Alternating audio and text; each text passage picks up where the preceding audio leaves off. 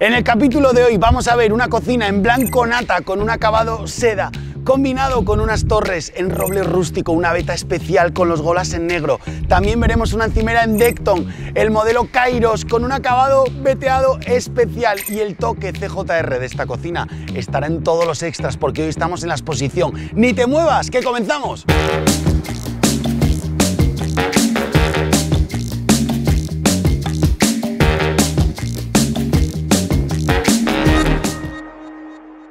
Hola familia, yo soy Daniel Colino de Cocinas CJR y te doy la bienvenida al capítulo número 20 de nuestro programa Con la boca abierta. Pero hoy no es un capítulo como el resto, hoy es un capítulo especial. Por eso no voy vestido como voy habitualmente en todos los vídeos. Y es que gracias a todas vuestras peticiones, vía Instagram, vía Facebook, vía YouTube, me habéis pedido ¿por qué no enseñaba la cocina donde he empezado algunos vídeos? Que es esta que tengo aquí detrás. Pues claro que sí, me parece una idea maravillosa. Hoy vamos a ver el proyecto de aquí, de la exposición. Y aunque es una cocina que es un concept, está diseñada para enseñar a nuestros clientes, seguro que puedes encontrar una similitud muy grande con el próximo proyecto que tengas entre manos. Por eso también te quiero decir las medidas. Vamos a estar viendo un espacio de 3 metros 40 en esta dirección y 3 metros 80 en esta otra dirección, contando desde la parte de atrás de las torres. Ahora ya sabes si algo parecido puede encajar en tu casa. Pero lo importante y lo bonito de esta cocina está dentro, así que ya no me aguanto, te la quiero enseñar por dentro. Vamos a por ello.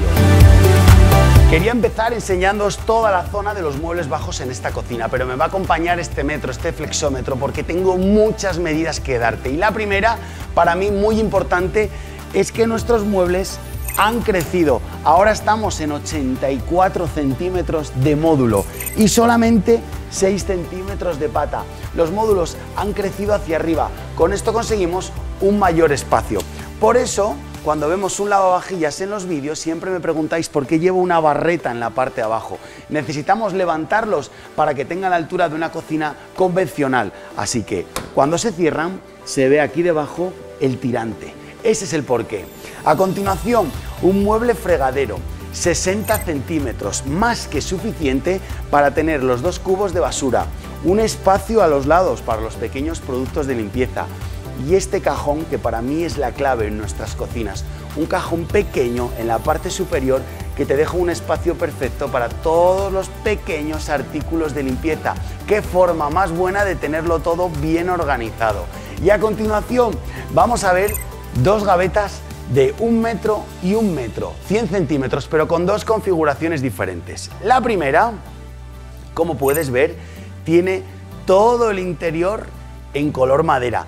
Fíjate qué acabado más bonito te da este interior. También te lo voy a enseñar aquí con otro fondo diferente, pero eso será ahora. La zona intermedia, un espacio perfecto para colocar todos tus platos y tus fuentes siempre con una esterilla antideslizante, una esterilla en la parte de abajo que protege de ese agua y de esos sedimentos cuando salen del lavavajillas o cuando se han fregado a mano.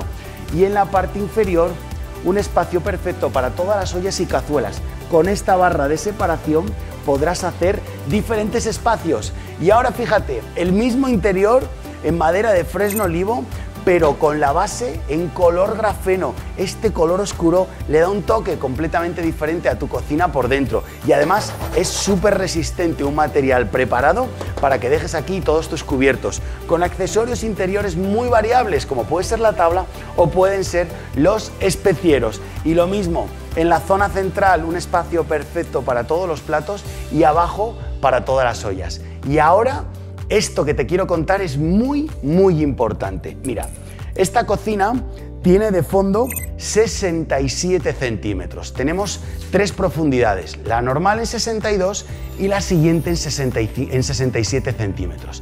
Claro, ¿qué ocurre? Acompáñame, por favor. Mira, voy a abrir el cajón. Con 67 centímetros fuera, queda un espacio útil midiendo desde la parte de dentro hasta donde está el frente de 58 centímetros.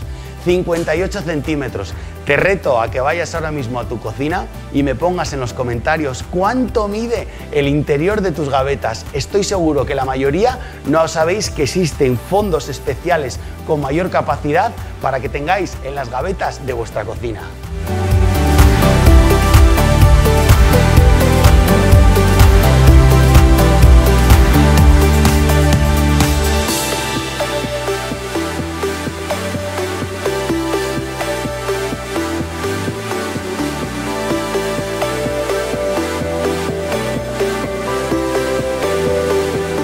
Quería enseñarte esta pared con cuatro torres de ancho, 60 centímetros, y tengo que decirte que si quieres instalar el tirador gola, que es esta barra de metal que se prolonga de arriba abajo, deberás de contar 3 centímetros por cada tirador gola que coloques. A continuación te quiero decir cómo son las puertas de esta cocina. Es nuestro acabado roble sincro que trae una beta que parece real. Cuando pasas la mano tiene la misma hendidura que el dibujo. Muy recomendable y un top ventas aquí en la tienda. ¿Cómo hacer un despensero completo completo? Yo te lo enseño. Cinco cajones interiores, lo digo en todos los vídeos, qué importante es tener el cajón interior porque te ayuda a la organización de tu cocina y acceder muy fácilmente a coger cualquier artículo. Pero en este caso estamos viendo tres abajo, una balda que hace de sujeción y otros dos arriba. Y muchas veces me dicen, Dani, pero el de arriba no es incómodo.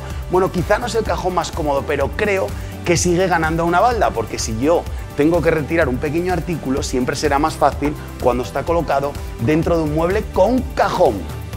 A continuación, aquí tenemos dos electrodomésticos en 45 centímetros. Podía ser un microondas o podía ser un horno. Nosotros tenemos la cafetera. ¿Nunca habías visto una cafetera? Esta está en funcionamiento. Si quieres, pónmelo también en los comentarios y haré un vídeo especial explicando cómo funcionan este tipo de cafeteras. Debajo tenemos el mismo módulo con los tres cajones interiores, pero creo que estás notando la diferencia, ¿verdad? Cajón en light gray, en color gris, y cajón en grafeno, un acabado negro. Ahora también podemos diseñar el interior de tu cocina, que para nosotros eso es muy, muy importante. Y como digo siempre, tres cajones interiores contra las baldas no hay nada que hacer, hay que agacharse para venir y coger el artículo, que siempre es mucho más incómodo. Y para tener nuestras cocinas limpias, limpias de verdad, lo ideal es tener un espacio donde poder colocar todos los productos de limpieza. Con nuestros accesorios interiores será mucho más sencillo que estén bien organizados.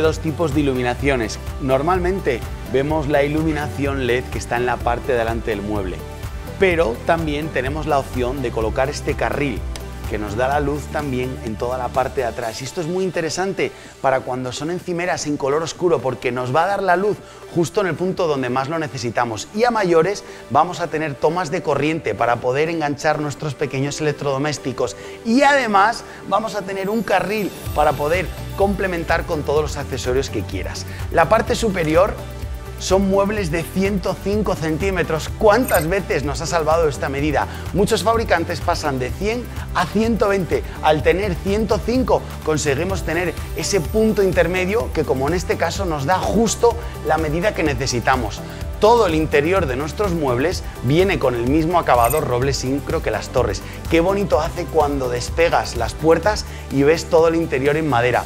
¿Cómo hacer el frente del tubo de la campana? Siguiendo la misma línea de los golas, le vamos a dar ese color grafeno, igual que todos los herrajes que hay en el interior de la cocina. Y sumado con el gola, conseguimos hacer ese proyecto global. Al tener 105 centímetros el mueble, aunque la campana sea de 90, todavía nos queda un pequeño espacio para colocar algún producto, para cerrarlos como siempre por dentro con su tirador interior. Y si estás pensando en reformar tu cocina y quizá no quieres volver a azulejar todo el espacio, no dejes de tener en cuenta colocar un frente en el mismo material de la encimera, en cristal o en laminado y con esto tendrás toda la zona protegida de las salpicaduras.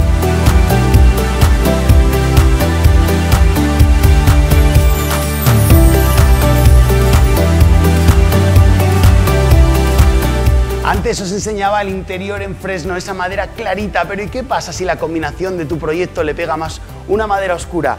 No te preocupes, también puedes combinar el interior de tu cocina con un acabado nogal, el fondo en grafeno o todo completamente en nogal. Si te das cuenta aquí hemos utilizado el cajón interior, conectas y cierras. Toda una pequeña isla, pero suficiente para poder trabajar en tu cocina. Y claro, en esta parte, ¿qué es lo esencial? Lo esencial son unas tomas de corriente. Fíjate en este accesorio, en un cristal mate que tiene un tacto perfecto, tocas y descubre dos tomas de corriente y un USB. Con toda la tecnología que tenemos hoy en día necesitamos cargadores de todo tipo. Y ahora quería explicarte toda esta barra completa. Como puedes ver, te da dos espacios para dos personas por aquí, incluso una tercera persona podría colocarse. Pero ¿y qué ocurre si tu cocina tiene poco espacio de paso? Mira qué sencillo. Puedes colocarla hacia adentro y dejar solo esta posición o puedes recogerla del todo y simplemente sacarla cuando más te haga falta.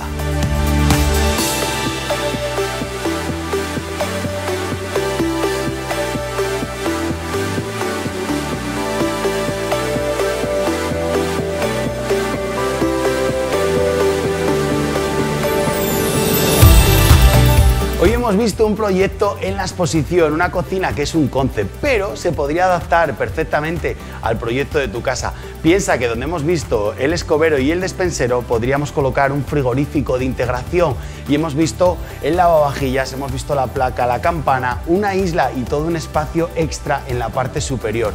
Si te has dado cuenta, ahora podemos combinar tu cocina por fuera y también por dentro. Qué bonitos quedan estos cuberteros con esa madera clarita o con la madera oscura. Seguro que estás harto de ver cuberteros de plástico. Eso se pasó a la historia. Ahora podemos hacer el interior de la cocina personalizado. Y si tienes poco espacio y necesitas una barra, pero claro, ¿qué ocurre? Que cuando no tienes invitados puede que te ocupe demasiado.